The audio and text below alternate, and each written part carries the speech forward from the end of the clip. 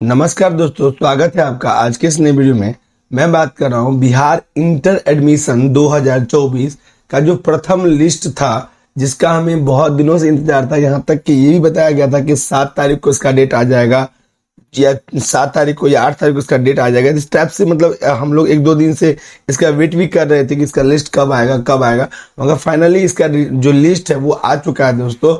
और इस लिस्ट में हम लोग कैसे चेक करेंगे कि मेरा किस स्कूल में एडमिशन का इंटीमेशन लेटर डाउनलोड हो रहा है या इंटीमेशन लेटर जो कि मतलब आपको ये लिस्ट फाइनल करता है कि आपका किस स्कूल में सिलेक्शन होगा, क्योंकि पिछली बार तो स्कूल के अलावा कॉलेज सब में भी सिलेक्शन था, मगर इस बार सिर्फ़ और सिर्फ़ स्कूल में ही सिलेक्शन दिया गया है। तो इसके पीछे बहुत सारा रीजन है दोस्तों, क्योंकि पीछे इससे पहले क्या हो गया था कि आपको तो फॉर्म भर मतलब अभी तक फिल हो ही रहा था क्योंकि जो कंपार्टमेंटल वाले कैंडिडेट थे, जो कैंडिडेट जो पीछे से ही स्टेप बाय स्टेप भर रहे थे या सीबीएसई e वाले जो कुछ कैंडिडेट थे तो उन उन लोगों के लिए भी जो डेट बढ़ा था, इसी कारण से फॉर्म अभी तक फिल हो ही रहा था, जो कि फाइनल डेट दे दिया गया था कि सात तारीख को इसका लिस्ट आ जाएगा। तो देखिए दोस्तों, यहाँ पे जो ऑफिसर का जो साइट पे दिया गया है कि यहाँ पे इसमें सात जून जो कि मैंने पहले ही क्लियर कर दिया आपको और विद्यालय में नामांकन समाप्त बारह जून।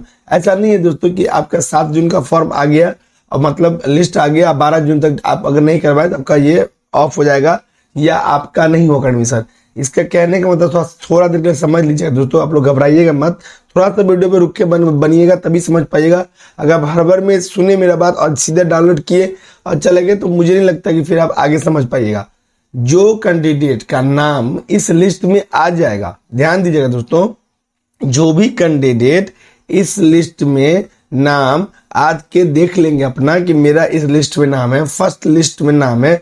वही कैंडिडेट को सात जून से बारह जून के बीच में एडमिशन कराना होगा, ठीक है? जिस कैंडिडेट का नाम नहीं आएगा तो उसके लिए घबराने की बात नहीं है। उनके लिए सेकेंड लिस्ट जो निकलेगा, उस सेकेंड लिस्ट में उनका एडमिशन होगा। तो ऐसा नहीं कि मेरा नाम नहीं आया, अब अब जो डेट है उसी डेट में आना था, नहीं आया तब मेरा एडमिशन नहीं होगा, ठीक है? तो ऐसा कुछ नहीं है, आपको आराम से होगा। पहली बात। दूसरी बात कि, किसी किसी स्टूडेंट को ऐसा हो जाता है कि उनका मन था, मान के चलिए, मुझे ये स्कूल में चाहिए, ठीक है? और आपका गलती से उस स्कूल में नहीं आके किसी दूसरे स्कूल में आ गया, जो कि आपके घर से थोड़ा सा दूर हो सकता है मे बी या आपको उस स्कूल में नहीं, दूसरे स्कूल में मन था। तो उस कंडीशन में जो कैंडिडेट एडमिशन नहीं करवाते हैं उनके लिए स्लाइड अप का ऑप्शन आता है, जो कि चालू हो जाएगा अब। तो जो कैंडिडेट स्लाइड अप करवाएँगे तो उनका स्लाइड अप में नाम आ जाएगा, तब तो जाके वो दूसरे स्कूल में नाम करवा सकते हैं। ठीक है, ये तो सेकंड ऑप्शन हो गया। इसके बाद दोस्तों, जिस कैंडिडेट को फ़र्स्ट लिस्ट में सेकेंड लिस्ट में दोनों में से किसी में भी नाम नहीं आता है, ध्यान दीजिएगा दोस्तों, जिस कैंडिडेट को फ़र्स्ट लिस्ट में सेकेंड लिस्ट में थर्ड लिस्ट में नाम नहीं आता, क्यों नहीं आता दोस्तों? दो रीजन है। पहला कि हो सकता है उनका जो कटअप गया, वो उतना कटअप नहीं गया मतलब परसेंटेज के हिसाब से।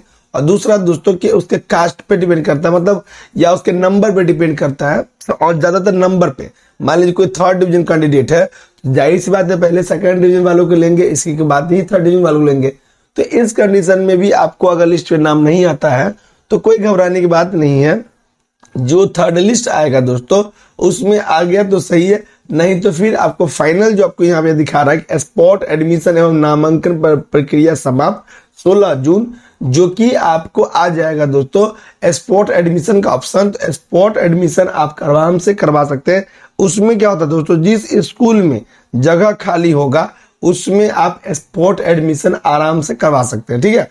तो स्पॉट एडमिशन में जिस जिसका लिस्ट में नाम नहीं आएगा, वो अगर पहले से फॉर्म भरे होंगे तो ऑप्शन उनको मिल जाएगा स्पॉट एडमिशन का प्रिंट निकल जाएगा। वो स्टूडेंट पोर्टल पे लॉगिन कर लेंगे तो वहाँ से उनको निकल जाएगा फ्री में, ठीक है? तो वहाँ से वो अपना स्पोर्ट एडमिशन प्रिंट निकाल के जिस स्कूल में जगह खाली होगा, वो करवा सकते हैं।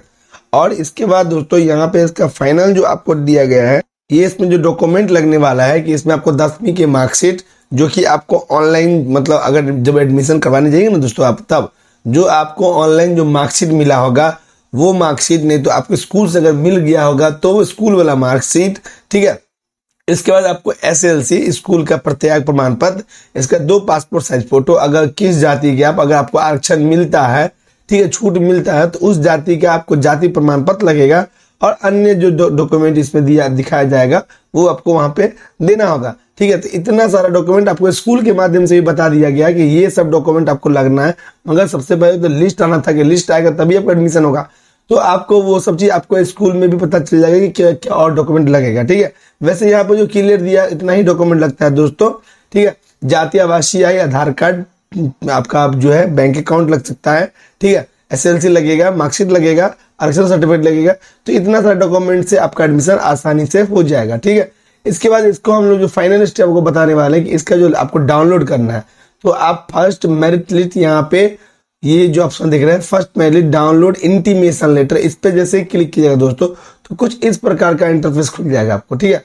तो ये जो इंटरफेस खुलेगा दोस्तों, इसी में आपको जो रिसीविंग मिला था दोस्तों, जो आपको रिसीविंग आपके पास होगा, जब आपने फॉर्म फिलअप किया होगा जो रिसीविंग मिला होगा दोस्तों, उसके सबसे ऊपर में, उसके सबसे ऊपर में आपको राइट साइड में आपको टू फोर जे करके रेफरेंस नंबर आपके पेज पे ऊपर में लिखा होगा, ठीक है? तो वो रेफरेंस नंबर वो बारकोड नंबर आपको इसमें भर देना है, अपना मोबाइल नंबर और आपका जो, ये जो कैप्चा दिया गया, वो कैप्चा डाल देना। जैसे प्रिंट पर क्लिक किया जाए दोस्तों तो नीचे में ना आपको उसका लिस्ट आ जाएगा कि आपको किस स्कूल में हो गया, ठीक है? किस स्कूल में? अगर आपका फ़र्स्ट लिस्ट में नाम आ गया तो बहुत अच्छा दोस्तों। नहीं आया तो घबराने की बात नहीं दोस्तों। सेकंड लिस्ट का हम लोग इंतज़ार करेंगे। ठीक है? तो जिसका नाम आ जाएगा, उनको ये फ़र्स्ट पेज प्रिंट आउट कर लेना है। फ़र्स्ट पेज इसके बाद उस पेज का प्रिंट आउट निकाल के वो प्रिंट आउट जो आपने एडमिशन कराया था वो सब कुछ करके आपको वहाँ पे ले जाना होगा।